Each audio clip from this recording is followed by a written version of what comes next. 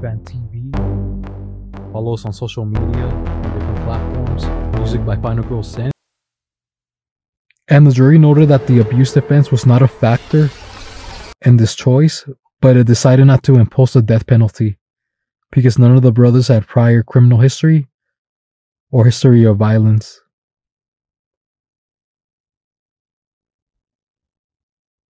The jury decided that they believe the brothers killed their parents in order to get their father's wealth, not because they were scared of the father.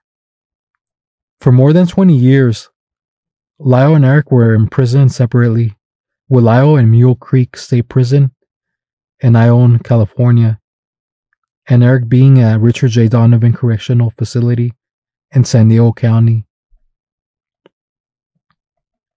The brothers did not speak for years, but only communicated through letters.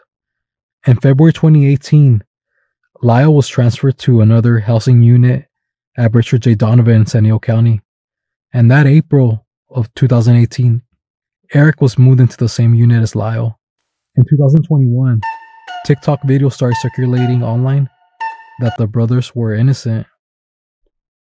And this started getting very trendy online and was something that was being spoken by the news. Almost three decades after the convictions, Cliff Gardner, one of the brothers' appellate attorneys, told 48 Hours that new evidence had come to light that Lyle and Eric were telling the truth about being abused. In May 2023, Gardner filed a petition asking that the brothers' convictions be vacated Eric Menendez testified that it never ended for him. And he finally confided in his older brother Lyle days before the crime, at the age of 18. The first piece of new evidence was a letter that attorney Cliff Gardner says was written by Eric Menendez to his cousin Andy in December 1988, about eight months before the killings. The letter reads in part I've been trying to avoid that it's still happening, Andy, but it's worse for me now. Every night I stay up thinking he might come in. Gardner said this was proof of the abuse happening.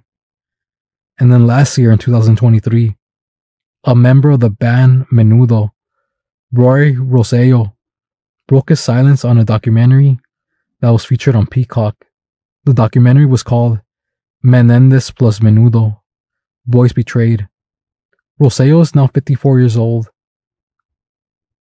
But he said in a sworn affidavit filed in 2023 that he went to Jose Menendez's home in the fall of 1983 or 84. Rosello would have been 14 or 15 at the time. He said he drank a glass of wine. Then he felt like he had no control over his body. Jose Menendez took him to a room and basically did something I can't mention in this video Bill stated in the petition that he was sexually abused by Jose Menendez on two other occasions, right before and right after a performance at Radio City Music Hall in New York. The LA County District Attorney's Office told 48 Hours that they are investigating the claim made in this petition. Ultimately, it would be up to a judge to decide whether the conviction should be vacated. And if they are vacated, then it would be up to the DA's office as to whether they would retry the case. Lyle Menendez awaits a judge ruling as we speak.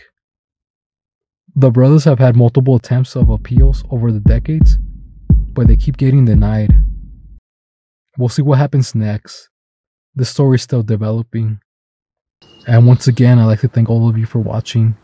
We got more videos on the way.